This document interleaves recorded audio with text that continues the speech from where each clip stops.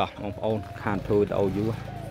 នៅផ្ទះចង្ការមករយៈនេះរវល់ពេកប៉ុន្តែអីវ៉ាន់នៅមានលក់ធម្មតាទេដងសាវខ្ញុំនៅនេះនៅច្រើន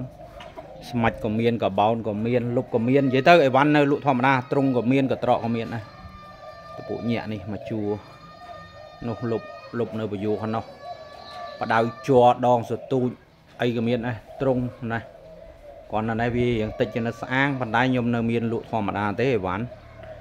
មិនថារវល់អត់បានលក់ទេហើយអ្នកដែលតេ97អើយតេ5ដងហើយมันលើកនៅព្យាយាមតេទៀត97មករយៈនេះខ្ញុំអត់កាន់ទេព្រោះទៅតេមកវិញនិយាយអត់លឺមករៀងរវល់នៅយកាអញ្ចឹងវាពិបាកហើយទូរស័ព្ទ97មូលហេតុដែលអត់លើកគឺតេមកនិយាយស្ដាប់គ្នាអត់បានហើយលេខទូរស័ព្ទខ្ញុំដាក់ដល់13ខ្សែអ្នកដែលតេមកតេមិនលើ97នៅព្យាយាមតែតេពីខ្សែទៀតគាត់អត់តេ Smart Sensor ខាត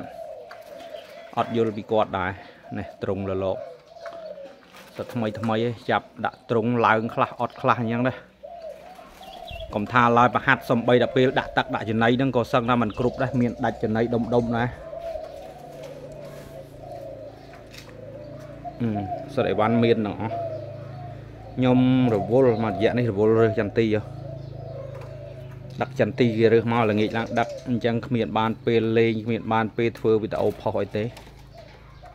នេះប៉ុន្តែអីវ៉ាន់គឺនៅមានលក់ធម្មតាសំបីតែរៀបអីវ៉ាន់ថតក៏គ្មានដែរគោមួយដុំអញ្ចឹងថតដែរ